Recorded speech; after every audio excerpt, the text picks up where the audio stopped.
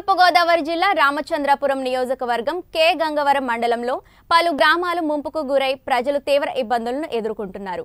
ముఖ్యంగా కోటిపల్లి శేరిలంక ప్రజల దుస్థితి అత్యంత దారుణంగా తయారైంది. అధికారులు నాయకులు వచ్చి తమను చూసి వెళ్తున్నారు తప్ప తమకు ఎటువంటి సహాయం అందడం లేదని ఆవేదన వ్యక్తం చేశారు. భోజనం సదుపాయం కూడా సక్రమంగా అందడం లేదని కొద్ది మందికి మాత్రమే భోజనం ప్యాకెట్లు ఇస్తున్నారని మిగతా వాళ్ళు పస్తులు ఉంటున్నారని ఆవేదన వ్యక్తం చేస్తున్నారు.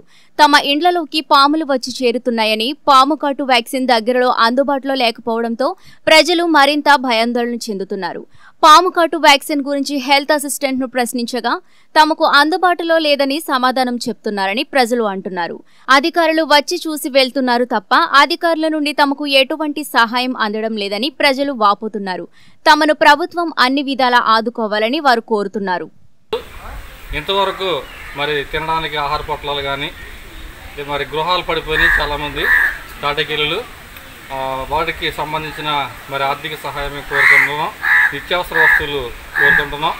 ఈ వరదను మరి జ్ఞాపకం పెట్టుకొని పంట ఎంత నష్టపోయింది కనుక తగిన ఆర్థిక సహాయం మరి ప్రభుత్వం వారు వెంటనే స్పందించి ప్రజలు తినడానికి ఆహారాన్ని మరి కావలసిన నిత్యావసర వస్తువులను అందజేయాలని మీకు తెలియజేస్తున్నాం.